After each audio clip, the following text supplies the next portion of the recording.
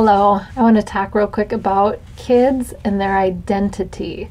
We are so lucky. We get to influence a lot about what our kids think about themselves.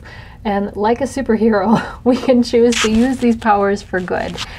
Uh, kids and all of us are always asking two questions, not out loud, but with their behaviors and actions. And the two questions are Do you see me? And do you like what you see?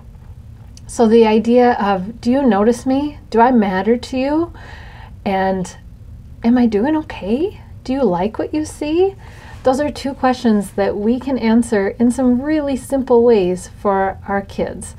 Uh, whether it's a drawing they want to show you the 500th time, they want to show you that they can do a, a cartwheel, um, different things will come your way different opportunities to really affirm their identity that you like them, you like who they are as human beings, you love them.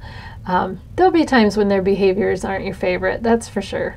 But the big picture of how much you enjoy them and enjoy being around them and enjoy who they're turning out to be. So remember that you are always answering those two questions Do you see me?